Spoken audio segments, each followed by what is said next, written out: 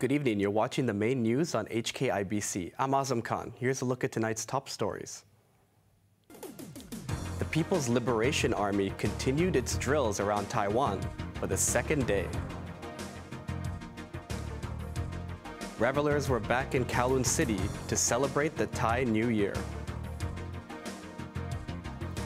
And Pope Francis delivered his traditional Easter Sunday Mass at the Vatican. People's Liberation Army has simulated precision strikes against key targets on Taiwan and its surrounding waters during the second day of military exercises. The drill simulated an encirclement of the island to send a stern warning to Washington for violating the One China principle. Janice Lowe reports. Taiwan detected 71 aircraft flying around in the last 24 hours during the first day of military exercises by the People's Liberation Army, out of which 45 intruded the island's airspace by crossing an unofficial dividing line. PLA Navy ships continued patrolling the Taiwan Strait with a similar response from the other side. Over 58 aircraft, including bombers and fighter jets, were spotted from the island from 6 a.m. till noon today. The Army released a video today featuring both its Air Force and Navy conducting drills and coordinating simulated attacks. Battleships from both sides were involved in a tense standoff, and the distance between them came down to just five nautical miles. The PLA's rocket army, which heads the land based missile system, also conducted long range mock attacks on key targets in Taiwan and its surrounding waters. The latest round of military drills by the PLA were triggered after Tsai Ing-wen met with U.S. House Speaker Kevin McCarthy and a bipartisan delegation of other members of Congress during a stopover in Los Angeles on her way back to Taiwan from Central America. After the meeting, McCarthy further aggravated the situation by suggesting to increase arms sales to Taiwan. Life in Taiwan has continued as normal, with no sign of panic or disruption from the drills. Washington has urged China not to exploit Tsai's U.S. visit as a pretext for the drills and has called for restraint. Janice Lowe, HKIBC. The Hong Kong Army Cadets Association held their first flag raising ceremony in more than three years. Army cadets gathered at the Golden Bauhinia Square for the ceremony at 8 a.m. today. Youth Minister Alice Mak was also present at the event. The tradition was halted for the past three years due to COVID. A private car burst into flames after crashing with another vehicle on Bride's Pool Road in Tai Po last night. Four people from one car were injured, while the driver of the vehicle which caught fire was arrested. Macy Mock reports. An online video captured the aftermath of a crash involving two cars in Tai Po last night. One of the vehicles was engulfed in flames in the middle of the road. Luckily, the driver was able to get out of the car. Please save my wife, shouted a man from the other car, which had stopped on the side of the road. Firefighters rescued two female passengers from the vehicle, which was not on fire. Their 20-year-old driver and another 29-year-old male passenger were also sent to hospital. One woman and the other male passenger remain in critical condition, while the other 25-year-old female is still serious. The driver is stable and recovering. The gray car in which the four were traveling was severely damaged in the crash, and its airbags were deployed after the collision. Police said the gray car was driving on Bride's Pool Road when it got hit by a white car which was driving in the opposite lane. After the crash, the white car then burst into flames and was burnt beyond recognition. The front of the car was mangled wreck and the seats were deformed due to the fire. Some parts of the vehicle detached after the impact and were scattered around the accident sites. Police detained the 40-year-old driver of the white car for dangerous driving and causing grievous bodily harm. Macy Mock, KIBC. Commuters took advantage of fare discounts on the MTR for the second straight day today. However, not all travelers could avail the 50% discount. Those commuting on monthly tickets had to pay normal fares. Lawmaker Ben Chan suggested the operator should compensate monthly ticket holders. He urged the railway company to reveal the number of people who took advantage of the fare discounts over the weekend, and added it should be implemented on weekdays, as the number of commuters on a normal weekend could be smaller compared to the holiday weekend. Earlier, the railway operator announced a fare hike of 2.3% from the middle of this year.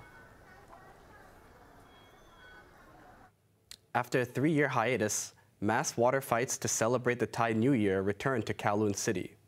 Similar festivities were also held in Cheung Sha Wan as the city marked Easter Sunday. Here's Macy Mock.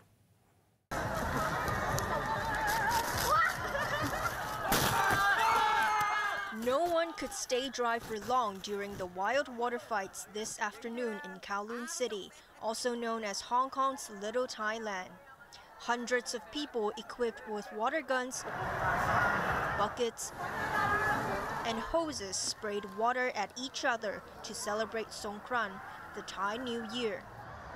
Even police officers monitoring the event got into the festive mood. The Thai Consul General wished people on the occasion. After a few years pause due to the pandemic, I'm very glad that today the Thai Songkran festivities have to return to Hong Kong so that we can enjoy the beautiful Thai traditions and embark on the new year together with happiness, good health, and prosperity. Very happy, this boy said. He aims to shoot water at as many people as he can this afternoon. Meanwhile, this woman who is from Thailand brought her son to the event. I was living here for five years. I thought it's a good chance to take my son to, you know, feel a bit of Songkran. And, you know, it wasn't happened for, for a while, right? So I think it's a good chance and everybody have fun. Aside from splashing water on others, bathing a statue of the Buddha is also a part of the tradition to wash away misfortune. Booths giving a glimpse of Thai handicrafts were opened at the Carpenter Road Park in Kowloon City. Similar celebrations were also held in Cheung Sha Wan.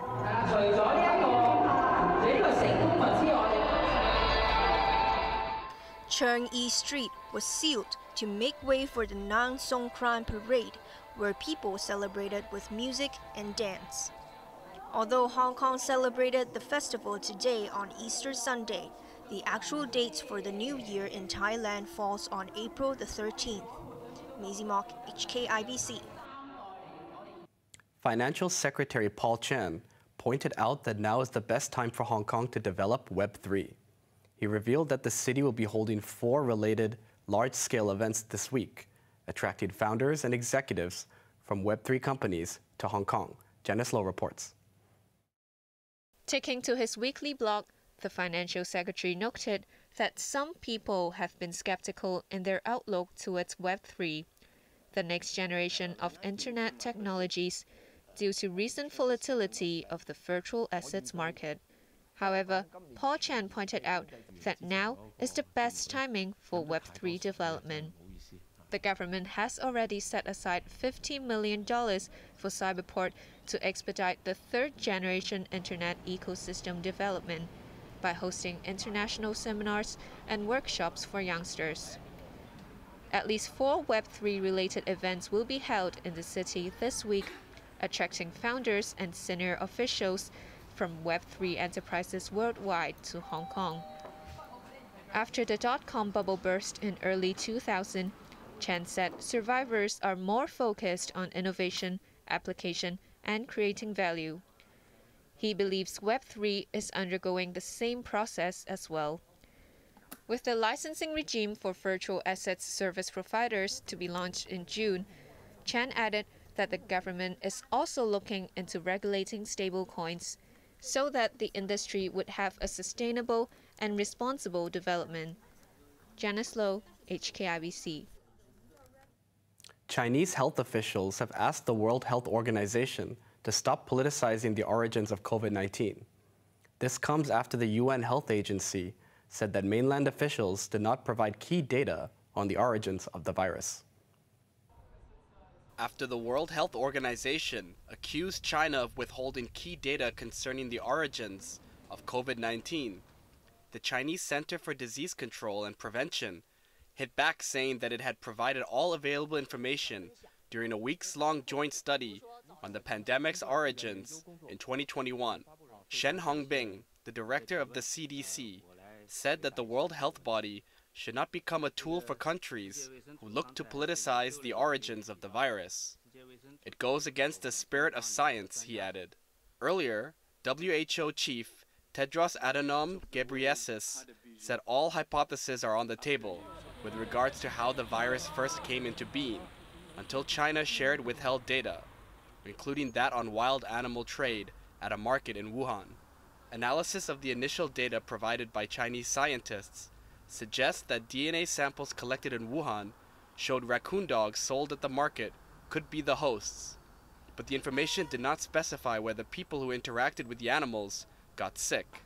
Tong Yigang, a Chinese animal disease expert who was part of the 2021 joint study with the WHO, said that the evidence was not sufficient to prove the origin of the virus. Pope Francis delivered Mass to tens of thousands of Catholics in St. Peter's Square to mark Easter Sunday. Still recovering from bronchitis, the 86 year old pontiff skipped the Good Friday procession in Rome due to the cold weather.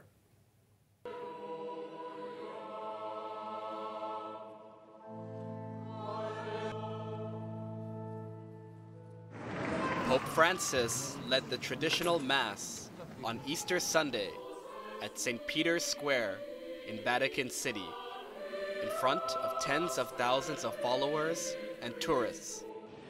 Fratelli e sorelle, la gioia dell'annuncio della resurrezione del Inspired by the Signore core Christian belief giunge a noi dalla veglia rose from the pasquale. dead after his crucifixion, Francis sprinkled holy water to commence the Mass, but sounded somewhat tired as he recited scriptures in Latin. Some 45,000 people had gathered in front of St. Peter's Basilica by the start of the mid morning Mass. The pontiff then spent nearly 20 minutes going around the square in the Pope Mobile, wishing and greeting worshippers and tourists alike. He was back in the public's eye after a very long Easter Vigil ceremony in St. Peter's Basilica the night before. The 86 year old Pope is recuperating from bronchitis that saw him hospitalized for a few days over a week ago. He skipped Good Friday Mass due to cold weather conditions. Onto the weather now. Mostly cloudy with a few light rain patches in the morning, followed by sunny periods. Temperatures will range between 19 and 23 degrees. More sunny periods into the midweek. That's our main news for Sunday night. Join us for more news at 11. I'm Azam Khan. Thanks for watching. Good night.